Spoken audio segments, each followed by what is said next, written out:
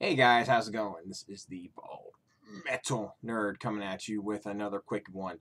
Uh, I forgot in my State of Music of 1998 to cover uh, what was an extremely important way to discover music for decades, and is much less so uh, then and now.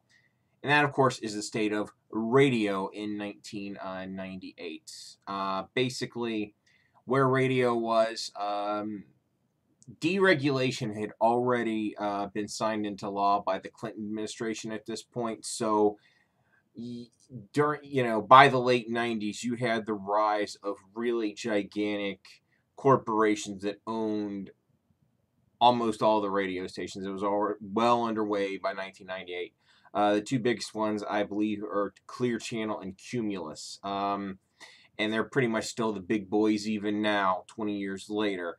Uh, so as far as how relevant was radio for me personally in 1998, by 1998, I had completely lost interest in listening to the radio. Uh, there were always, you know, basically all of the problems that we still bitch about the radio now were in full force by 1998.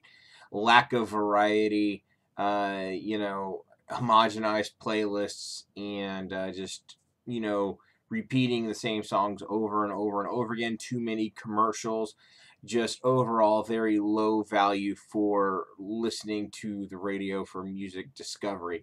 That was already you know there for 1998 um, but radio's ratings hadn't started to drop yet because we were still we hadn't yet uh, boosted into the uh, you know MP3 player and more importantly the smart smartphone revolution. Of course, we'll be talking about that in future videos.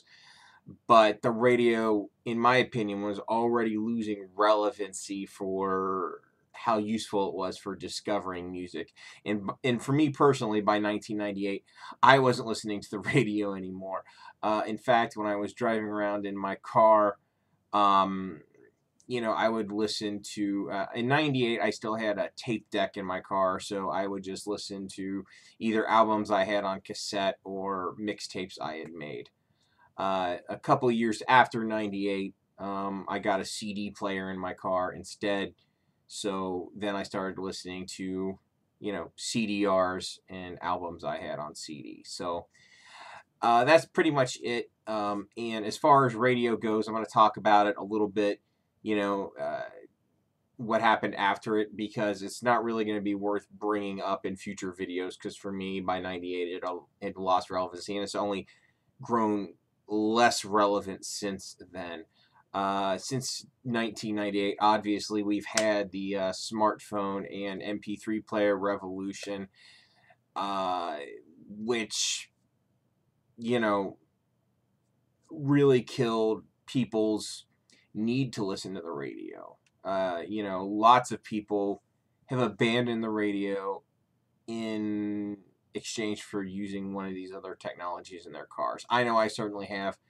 Uh, I I only rarely listen to the radio before I almost never turn it on now. I can go six months honestly without turning on my radio in my car. So uh, that's just kind of where it's at. To me, radio is pretty much a dead format because of all the inherent crappiness with it. Uh, so that's it. I'm, I'm not going to talk about the radio anymore.